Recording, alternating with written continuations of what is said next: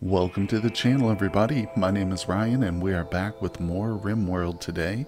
This is of course the Medieval and Magic Colony and we are coming off of the recent episode which was titled the Mental Break episode. So you can kind of see the state we're in now. Beetle has just in fact finished destroying this door right here. So we're going to unpause things. I did order Diver to get Oh, he's going for the bed. Of course, he chooses the bed that's occupied.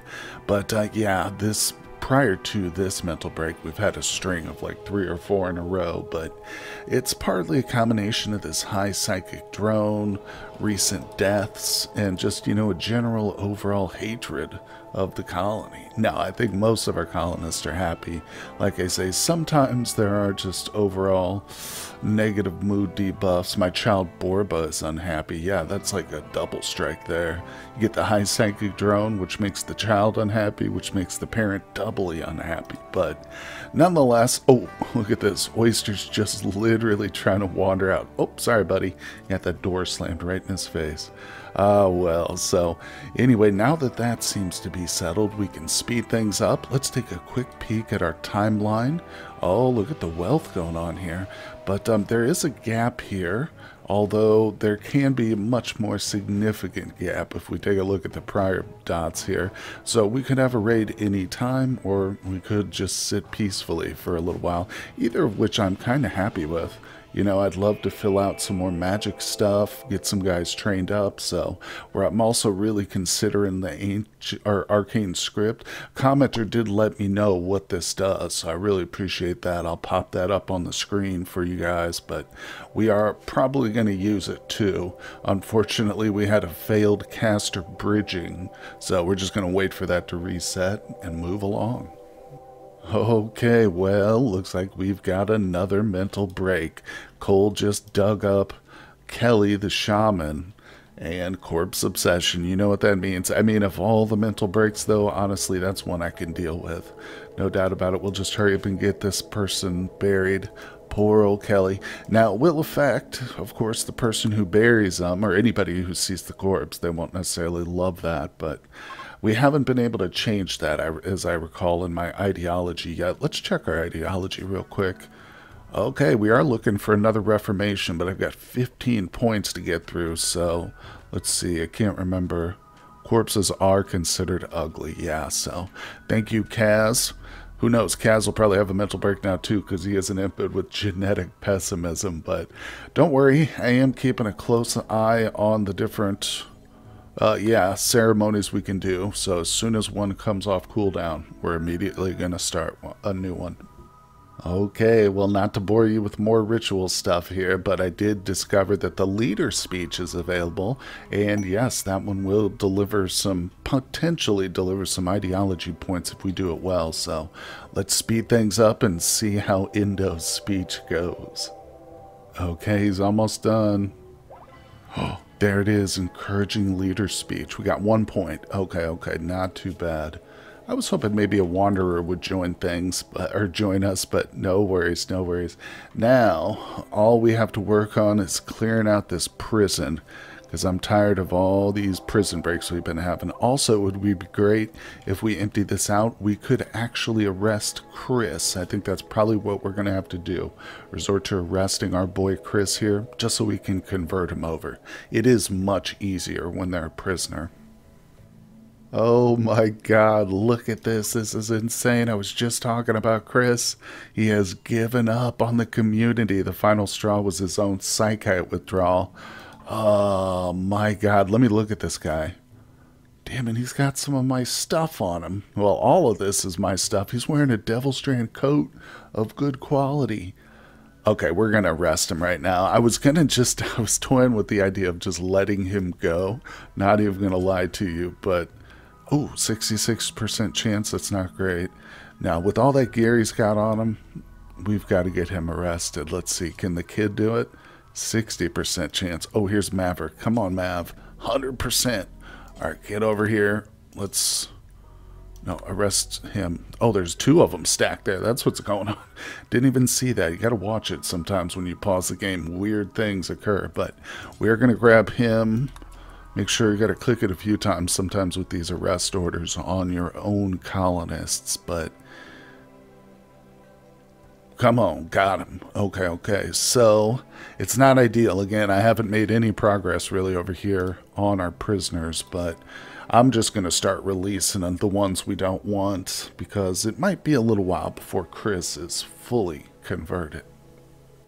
Hey, alright, this looks like a pretty fun party over here. After that psychic probe went away, I guess they decided to celebrate on their own. Unfortunately, no ritual points from this, but they will get a little mood boost as long as it's not canceled prematurely. So let's hope Cole doesn't dig up another corpse. She's still roaming around. She probably will at some point. Anyway, um, we've started the long, laborious process of smelting all of these weapons. It's gotten ridiculous. My stockpile is an absolute degenerate mess, and I've simply run out of planks to build any more of our things. Of course, we got more planks working too. But um, yeah, things are just out of control here in our stockpile. So that's kind of my current task. But we're also juggling a few other priorities. Of course, the prisoners, and we're really hoping we can get our first crop coming along pretty soon. Yeah, we're out. Our people are eating simple meals and occasionally a bit of raw meat when our cooks can't keep up. But check it out. We got ourselves a new research. So, yeah, I've been focused on the magic here Maybe I should look at the veg vegetable garden. Advanced planter box? No. I'll, we'll, we'll stick with magic. This is something I've been wanting to do. So I don't, um, half of these things, well, I should be honest, 95% of the things in here, I don't know what they do. But we are going to learn them together. The Arcane Forge sounds pretty amazing. Oh. This looks like advanced scribing. Okay, so that gives us better spells to shoot for. Oh, arcane artifacts. Oh yeah, yeah. So we got to watch out too. Some of these things will will need like maybe I don't know scrolls for. Although these don't look like they do. Dormant hollow golem. Oh yeah, a few people have recommended golems too. That would certainly help with defense, wouldn't it? A flesh golem. So is this this is what we need human flesh for? I think a dormant flesh golem. Flesh golems are bipedal mass. Blah, blah, blah. While dormant, let's see. Created at the butcher table. Ugh. Yeah, um, that's interesting. A bit disgusting, but let's see. Expert enchanting. Let's go for the golems I don't know what a hollow golem is made out of, but I do know that we've got plenty of flesh lying around, so it might be gruesome and it might piss off some of our colonists. But then again, we got plenty of psychopaths around here too, so we might not be too affected by that. Oh man, Chris is not happy. He just went berserk. Well, let's have a little impromptu gladiatorial match in here. Oh, oh, Nope, never mind. Kaz the monk is stepping in. Oh, Chris, you didn't stand a chance, boy. Well, that's no big deal. He's not permanently injured, I don't think. Now, he came in with a bionic stomach. Trust me, I didn't give him that. He was obvious. I think he was a wanderer. I can't remember because he does have a different ideology. But regardless, he's here. He's awake now, so we can actually hit him with our spell. Get over here, Bera.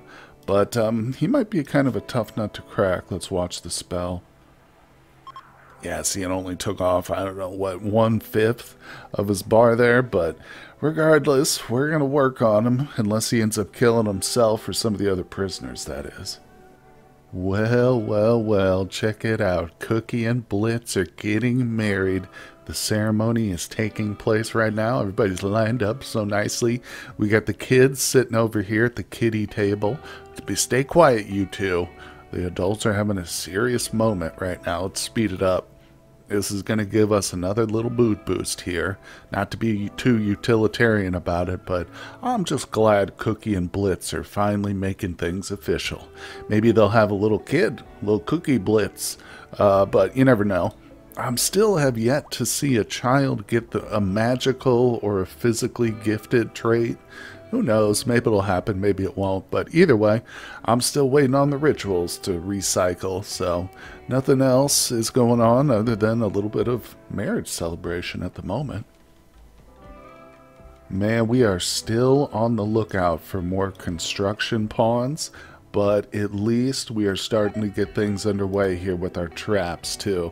This is a very important section. The wall here, over here, this is the very uh, eastern side of the colony, as you can see. It's been attacked multiple times and we're still not fully repaired, but the traps will help. And you know what I like to imagine here? These are bone traps I've made. And of course, they're the bones of the animals we hunted, but if we start butchering humans up, for those golems, then we might be able to make traps out of the bones of fallen raiders, which then new raiders will, you know, be struck on. But I don't, that just occurred to me, that sick morbid. It's amazing where RimWorld takes a person's mind to, isn't it? But uh, anyway, yeah, it's a disgusting, disgusting world here we're living in. But um, okay, let's move on. Okay, we got a Sky Lantern Festival about to finish. There it is, beautiful, plus one point. Okay, well, like I said, we're we're moving right along with these rituals. I think that's the only one currently. Let's check the status. We got a few points, seven of 18. Okay, not quite to halfway, but let's grab Bera real quick. Maybe we can do a uh, conversion ritual. Nope. It's getting close, so counting down from 100 to 0, basically, or a couple percent. So this one's getting ready. Let's try a couple of these. Negative 14, again, close. Jubilee, that one's uh, still more than 50% away. And caster bridging, uh, the very, very important one. Negative 71, so just more time to sit by. How about a public execution? Oh, we can do one of those. Unfortunately, right now, all the prisoners we have are desirable. So I should have probably kept one or two around just for execution, but I wanted them out of here. I was tired of staring at them. So this hero over here is a too smart bloodluster. Hopefully she will join us. No permanent injuries on her. And this young man, Oyster, oh, by the way, these two have already been recruited or I'm sorry, converted. You'll see over here. But uh, this young man here is lose has lost an eye, torn to shreds. That sounds pretty bad. Let's check his bio real quick. Body modder, trigger happy, fast walker. So pretty darn good pawn. Especially if we can get him some sort of golden eyeball or something. He'll be happy about it. And then of course there's Chris. We don't, we just, we all know Chris, don't we? But um, he's actually not a bad pawn. We're definitely worth keeping him around. Let's check his... Oh, he's about 50%, so we're definitely making some progress on our goofy old Chris. Well, the saga of Chris being a douchebag is not over yet. He just had a tantrum, which was, oh my god, really, really quick.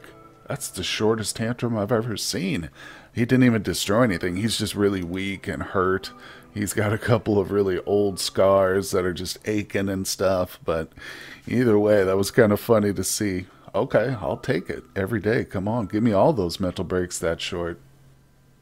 Oh boy, check this out. We just had another arcane items collector stop by, and this is a big trade, big trade. I had to sell quite a bit of stuff, including some unrefined magicite, which I didn't really want to get rid of, but look at what we're getting exchange. An arcane tome for ice, which is very expensive, and a steel paragon's helm. Let's take a look at the helm first. It's right here. Steel paragon's helm. Normal quality, a heavily enchanted helm meant to identify elite warriors. I already know who's going to wear this too, by the way. Paragon's helm is enchanted and provides additional benefits to train mages and fighters. Energy cost is reduced. I guess for like all their abilities. Class XP gain boosted by 15%, max energy increased, arcane resistance increased. It's a headpiece, social impact increased. That's what really made my choice for me.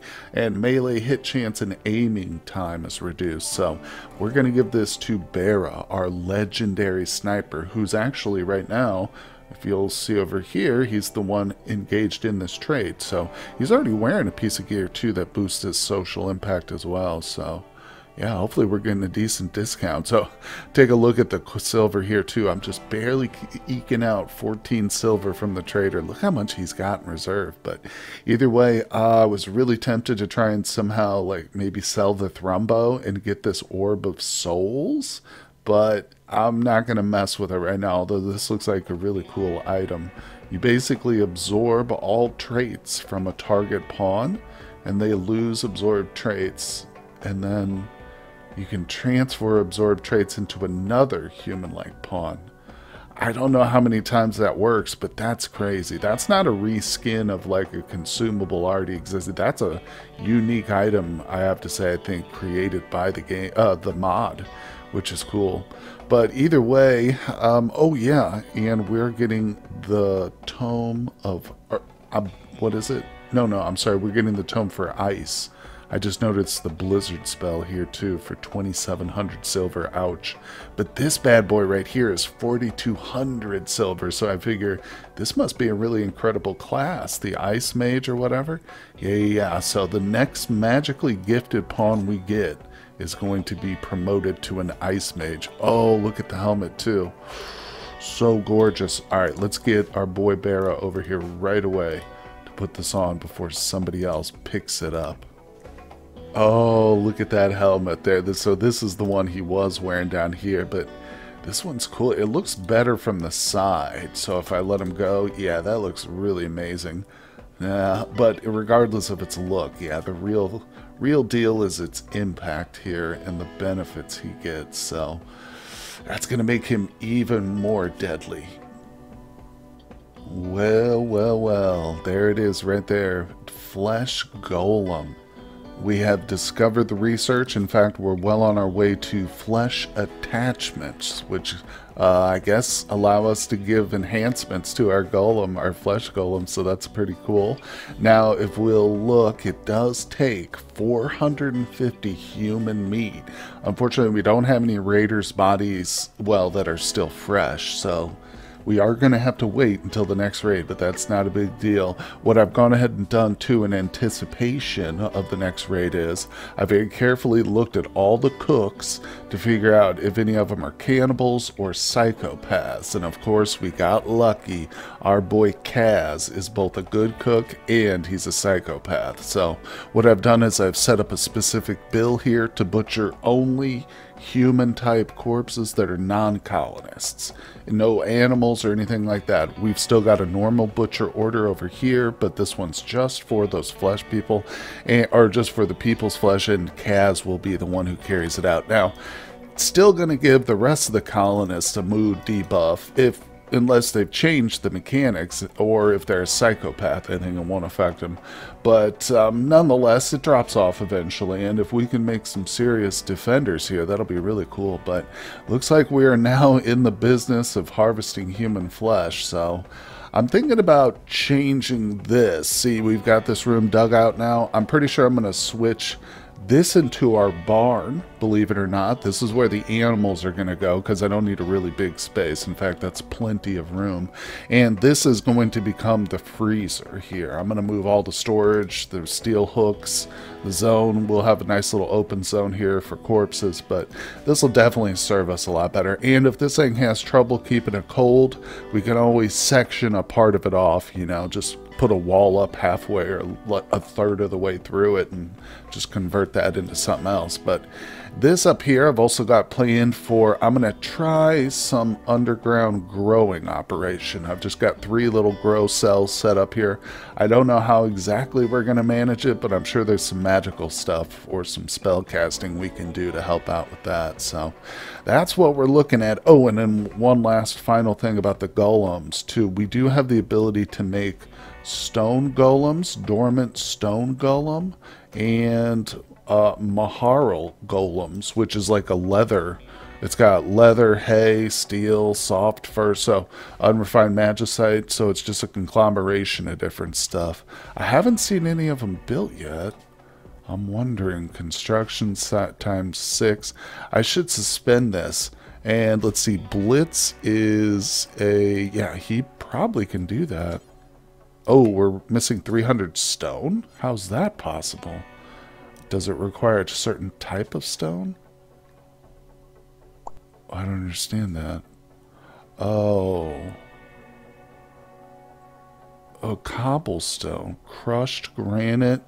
So we do need to construct one of those, like, stone crushing stations. I had one of those early, early on, I believe, but I got rid of it because, yeah, stone cutting spot, right? This is what we want, I think. All right, I'll slap that down there and we'll see if that can produce what we need. Everybody's gathering, guys. It is time to see if the long journey of Chris's conversion is coming to an end. So, we are finally ready for a brand new conversion ritual, which I've got queued up. You can see Chris is probably being carted over here right now. Yep, there he is, making his move. Bera, with that beautiful new helmet, has a hold of him, so there's no worries that the prisoner will escape. The once colonist turned prisoner Okay, he, he abandoned us, remember. Don't forget that fact. Alright, let's speed this up, see what happens. And here we go. Oh, it was effective. Now, that does not mean he was actually converted. I think we're going to have to wait till he gets moved back to prison. But yeah, he's not necessarily been converted, but we did get a point for that, so that's pretty huge. What's that bring us to? Eight? yeah, a whoa, check that out. Inspired recruitment blade. Now sometimes they'll get that kind of recruitment, they won't actually be assigned to it. Yeah, see, Blade's not assigned to wardening. Oh, that's huge actually. Come here, Blade. Let's get you to recruit. Not worried about Chris in this circumstance, but let's take a look at him. Oh, super close. So Bera his conversion spell is on cooldown, so we won't worry about that right now. But let's take a look at these other two prisoners. Again, we're going for both of these. Now, Hero's got a 12 resistance. Oh, and Oyster's got a 1, so he's almost recruited. But this is so fortunate. If we take Blade now, let's grab him.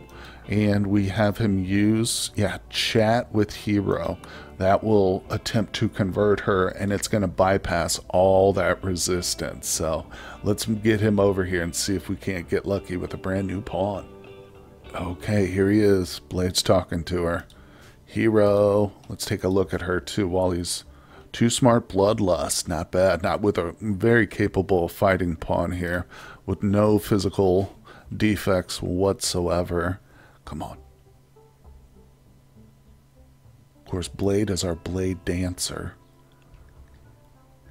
Very, very interesting sort of physical attribute. Unfortunately, he's nowhere near as good a fighter as Hero.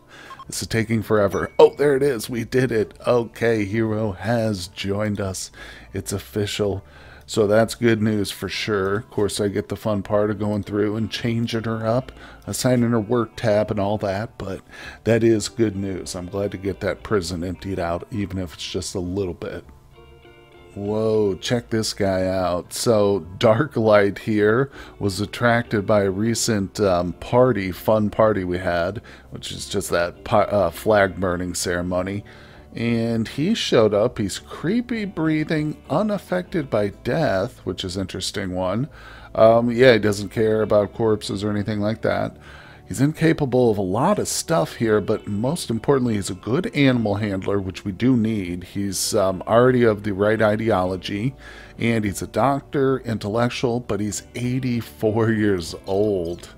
Right arm, bad back. I'm actually tempted to go ahead and accept him. Yeah, yeah. Because again, I mean, when we reject them, people do get a little mood debuff. It's all I think it's like between three and five, but still, it's annoying. So he is nonviolent too. I don't know if I mentioned that, but either way, Darklight's a cool name. Welcome, welcome, welcome. And so we got lucky, and a combat supplier just flew by overhead on his little zeppelin. Look at this list over here. Oh my God, this is all the weapons we've got stored up.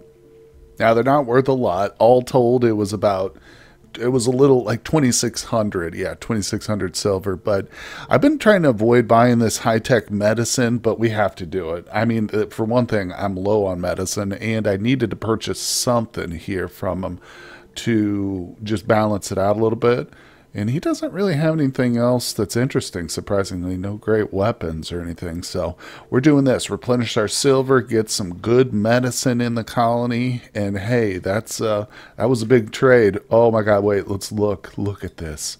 It still looks pretty messy, but a lot of the storage space has now been cleared out. And in fact, why didn't these sell? Oh wait, these are actually con- currently empty. Yeah, yeah. The the Anna uh, or the graphic here is just for looks. That's right, that's right. But nonetheless, once these shells get filled up, the floors are going to be cleared a lot more. I do have a few weapons still left over, so it's not the end of the world. Plus, we can get Bear to craft some too. But I was kind of hoping to end today's episode on a cliffhanger, think, thinking a raid might stop by, but I think this is a probably a good place to end it too here with a combat supplier coming by to pick up all our unwanted stuff. It's a it's a high note to end on instead of a cliffhanger. So I hope you guys enjoyed today's episode. It's basically the journey, Chris's journey to uh, righteousness. We're gonna rename him to Saint Chris, I think, once he's fully converted, and he's almost there, but Anyway, guys, hit that like button if you enjoyed it today. Subscribe to the channel if you're new, and I will see you all on the next one.